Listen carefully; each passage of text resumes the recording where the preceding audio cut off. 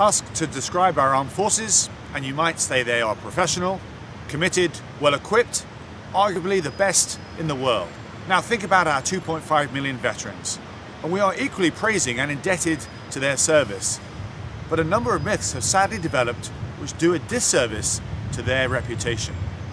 Firstly, the idea that veterans depart the forces with no or limited education.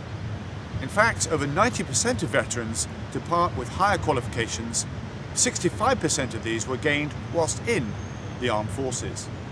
In fact, the MOD is the single largest provider of apprenticeships in the UK, with over 20,000 personnel enrolled at any one time.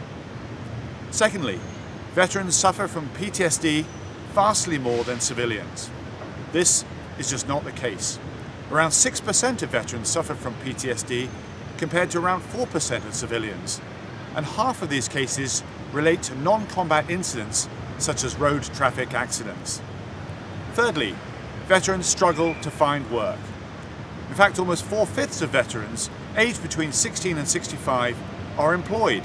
This is no different from the wider population.